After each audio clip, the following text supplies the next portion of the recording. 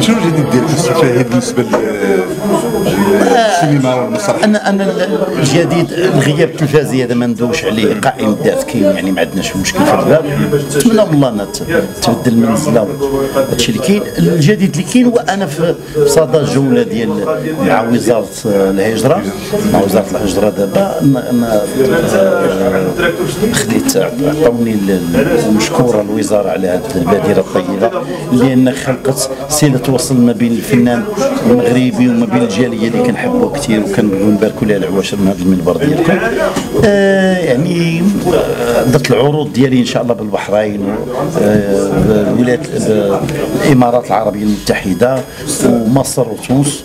وندازوا عروض ما شاء الله جميل جدا. وكاينه المسرحية ديالي الجديدة الآن اللي مع فرقة ديال مع الممثلة المقتدرة نعيمة إلياس وزهور السليماني يعني كنديروا واحد الجوله الآن حنا في صدر الجوله المسرحية ديال سميتها العودة. والمشروع اللي إن شاء الله الرحمن الرحيم إلى سهل الله سبحانه إلا هو هو أن المشروع الجديد سينمائيا هو الفيلم الفيلم الكوميدي إن شاء الله اللي اللي إحنا انتهينا الآن من الكتابة ديالو.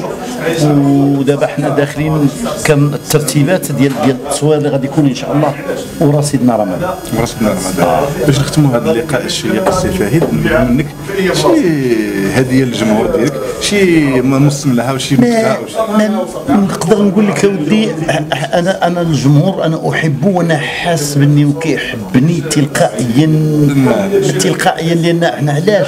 مر بيناتنا واحد الحب كبير وصادق مع الجمهور يعني ديال واحد 24 25 28 عام كان حب صادق وكان عمل صادق من القلب للقلب وهادشي كنلمسو كنلمسو هنا في المعرض كنلمسو بحب كبير وكنلمسو خارج أرض الوطن وكنلمسو مع الجالية وكنلمسو في الشارع المغربي.